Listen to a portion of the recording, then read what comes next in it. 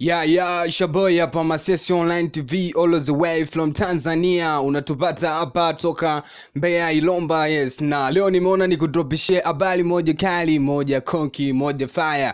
Kama shabiki wangu wa nguvu, kama shabiki wangu nambari 1, nambari uno, usisahau kubonyeza batani iliyoandikwa subscribe, pia na kuturn on notification, utakuwa umetisha lembaa ile kinoma noma. Na leo nimekuletea habari ya mtu mzima Chibude Chibudenga Diamond Platinum na mtu mzima Harmonenga Harmonize Konde Boy na Vivan Boy Mbea Boy Chuma Waya Yeah, yeah, Unstoppable Nigga, yani channel ya Unstoppable. Yes, na nikwambie tu kama unavyoelewa Harmonenga Harmonize baada ya kujitoa WCB Wasafi, ni mambo mengi yamevuma, ngendembwe ngendembwe nyingi zimevuma na watu wameongea sana, ila Vivian Boy kama tunavyojua ameachia ngoma yake mpya inayotamba na ina make headline, ina bang bang inayoenda kwa jina la Chuchuma. Ni ngoma ambayo imependwa na watu wengi na ime imefika mbali na ina bado ipo trending ina anaendelea kukimbiza huku mtu mzima Diamond Platnumz juzi kati akiwa amechukua tuzo kubwa huko nchini England Uingereza